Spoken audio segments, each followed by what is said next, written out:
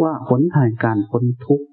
ที่เราเคยได้ยินกันมาตลอดหรือเราเราอาจจะเคยได้ยินพระนิพพาน เราอาจจะเคยได้ยินพระอรหันต์ได้ยินพระอริยบุคคลทั้งหลาย ตั้งแต่พระโสดาบันเราก็ได้ยินได้ยินก็จะได้ยินกันมา แต่เราจะมาดูมาเห็นความจริงกันว่า ปัญญาการตรัสรู้ของพระองค์นำไปสู่เส้นทางนั้นจนกระทั่งพ้นไปจากทุกข์จริง ๆ ได้ยังไง แล้วคำว่าพ้นทุกข์ไม่ใช่ทำใจหรืออดทนให้พ้นทุกข์ แต่มันพ้นไปจากทุกทั้งปวง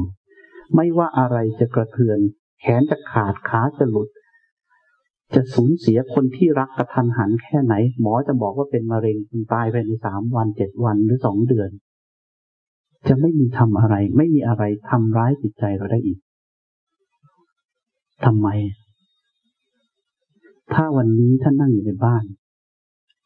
มีโจรหรือว่ามีคนไม่ดี ขี่จักรยานผ่านมาหน้าบ้าน แล้วก็หยิบหินแล้วคว้างเต็มแรง เข้าไปโดนกระจกหน้าบ้านท่านเพ่งแตกกระจาย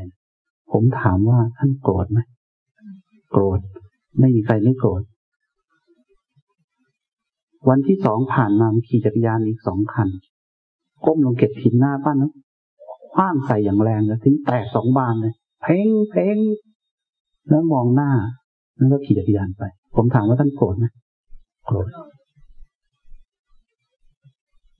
ท่านอยู่ไม่ไหวแล้วท่านขายบ้านนั้นทิ้งแล้วท่านไปอยู่เมืองอื่น วันที่สามมันขี่จักรยานมา มากันทั้งฝูงเลย คนละก้อนซัดแตกกระจายหมดทั้งหลัง ยังมีใครโกรธกับกระจกแตกอีกไหมไม่มี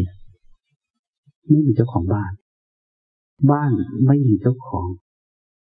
ไม่มีใครเข้าไปบอกว่าเป็นเจ้าของบ้านนั้น แล้วจะมีใครทุกข์กับมันอีก สภาพนี้เรียกว่า สุญญตา แต่เส้นทางเดินมีอริยมรรคเพียงแปดจะนำพาไปจนถึงเส้นทางนั้น จนถึงปลายทางนั้น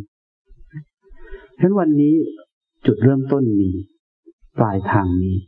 เส้นทางมี ผู้เดินมีทำไมจะไม่มีจุดสุดท้ายล่ะ พระเจ้าท่านได้ตรัสเอาไว้ในก่อนที่พระองค์จะปรินิพพานสามเดือน ท่านบอกว่าตราบใดก็ตาม ยังมีผู้เจริญอริยมรรคมีองแปดอยู่บนโลก โลกจะไม่ว่างเว้นจากสมณะที่หนึ่งที่สองที่สามแล้วก็ที่สี่คือพระโสดาบันสกิทาคามี พระนาคามีแล้วก็พระอรหันต์เพราะฉะนั้นวันนี้เราคงจะต้องกลับมาทำความเข้าใจกันใหม่แล้วล่ะ ว่าปัญญาการตรัสรู้ของพระองค์คืออะไรกันแน่ แล้วการที่จะเดินให้ถึงคืออะไร แล้วความเป็นไปได้มีจริงๆเหรอพวกเราชาวพุทธทั้งหมดกำลังคลาดเคลื่อนไปสักสิ่งที่พระองค์ตรัสรู้ 2,600 ปีแม้จะนานจริง ๆ นานมากๆด้วย 2,600 ปี แต่พระธรรมยังคงอยู่ ทุกอย่างยังคงอยู่